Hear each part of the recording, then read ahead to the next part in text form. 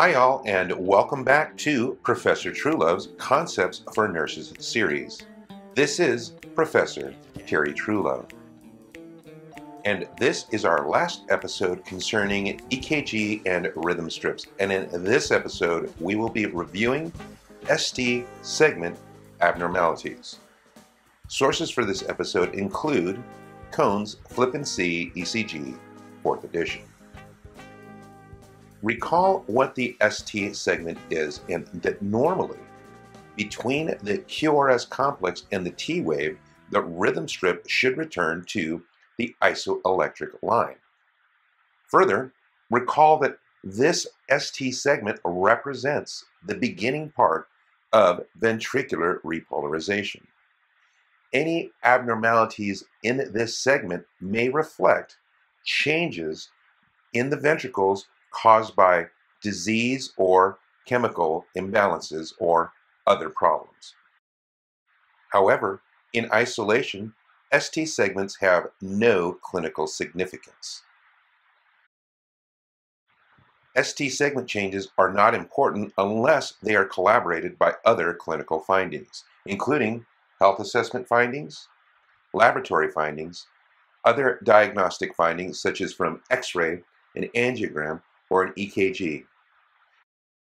The term nonspecific ST segment changes is the most accurate way to describe these different changes, whether or not there are clinically important changes that are found with the patient. Therefore, do not ignore these nonspecific ST changes because they may be important. It is the responsibility of the person that discovers these ST changes to report it to the provider because these ST changes may be clinically significant or they may not be clinically significant. And that is because factors affecting the ST segment, the T and the U waves include intrinsic myocardial disease such as myocarditis, ischemia, infarction, infiltrative or myopathic processes, or medications such as digoxin, quinidine, tricyclic antidepressant, and many other classifications of medications. Other factors include electrolyte abnormalities of the levels of potassium, magnesium, or calcium, and neurogenic factors such as a stroke, a hemorrhage, brain trauma, or a brain tumor.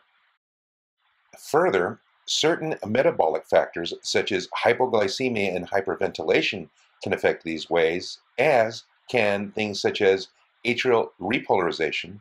In other words, the, the fast atrial waves may actually pull the ST segment out of alignment when you look at this rhythm strip. It really isn't.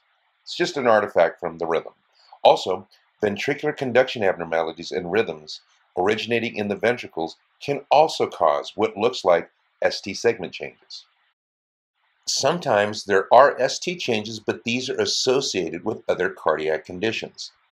In this case, the ST change is because of alterations in the sequence of ventricular depolarization in such rhythms as bundle branch blocks, fascicular blocks, nonspecific, nonspecific idioventricular cardiac disease, Wolff Parkinson's White pre-excitation, and premature ventricular complexes or other ventricular arrhythmias.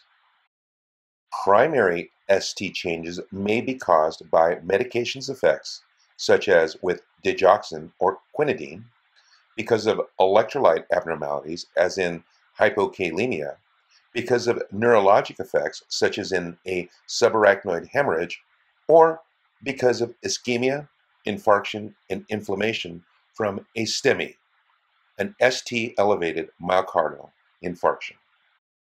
Sometimes the characteristics of the ST segment changes help us to determine why those ST changes are being caused. In this case, we notice the digitalis effect and the characteristic curve of the ST segment, which looks vaguely like a fancy mustache. In this case, we look at a portrait of Salvador Dali and see his mustache, and it should remind us of the digitalis effect. Potassium levels have a significant effect on the nature of the ST segment. Potassium is the major intracellular ion that is involved with cardiac cycle. Changes in blood serum levels can cause significant changes in the ECG and in the clinical condition. A high potassium level is known as hyperkalemia, while a low potassium level is known as hypokalemia.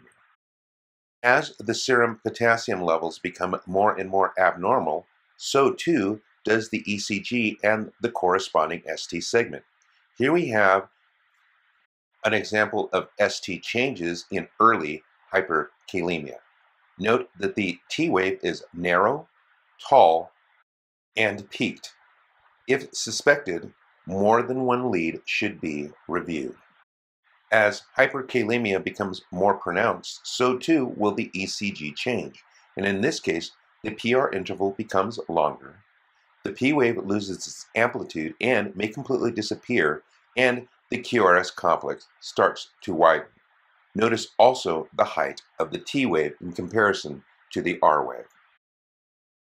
With severe hyperkalemia, you notice the widened QRS complexes, and further, the QRS complexes merge with the corresponding T waves. This is how profound the ST segment change is.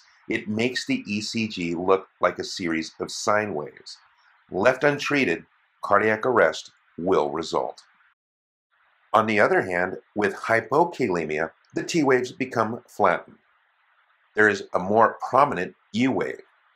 The ST segment may become depressed and the T wave may become inverted.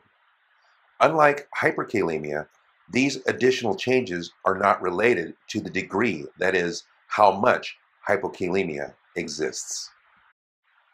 Part of the process of reviewing the ST segment also involves reviewing the J point, because the J point can reveal early repolarization.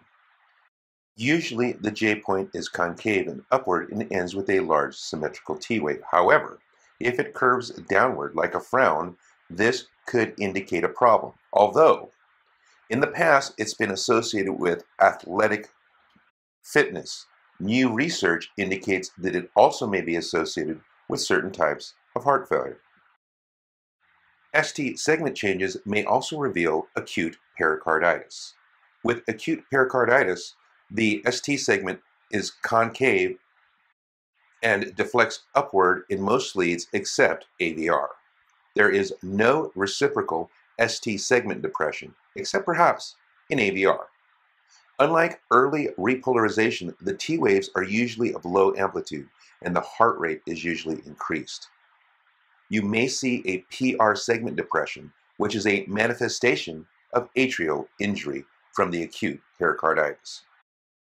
Those changes are reflected in this fragment of strip where we see the concave upward facing ST elevation along with PR segment depression that is the hallmark of acute pericarditis. Some other factors to consider when evaluating your ST segments. If they are found with a wandering baseline, this is known as pseudo-ST depression. Your treatment is to fix the leads. It may be seen with certain atrial and sinus tachycardias. In that case, resolve the tachyarrhythmia. It may also be seen with hyperventilation, so correct the respiratory rate, and it may be seen in subendocardial infarction. Treat the myocardial infarction. In these examples, notice the difference between a normal ST segment, the ST segment elevation noted in a STEMI, and the ST segment depression found in N-STEMI.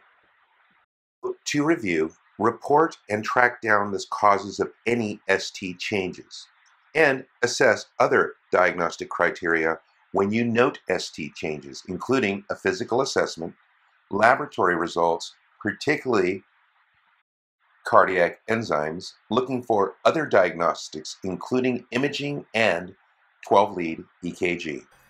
That does conclude this episode concerning EKG changes. However, there are more cardiac episodes coming in the future. In the meantime, I hope you learned a little bit I hope you come back to watch more, and if you do, we will see you then.